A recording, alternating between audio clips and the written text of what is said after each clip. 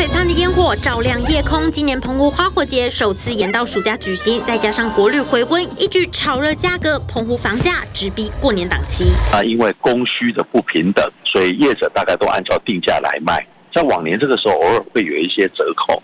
所以民众在感觉在离岛方面可能有很严重，那我想这是市场的供需的一个原理。不过价格还不是问题，主要是有钱也订不到。澎湖毕竟满房，花东同样热门。快民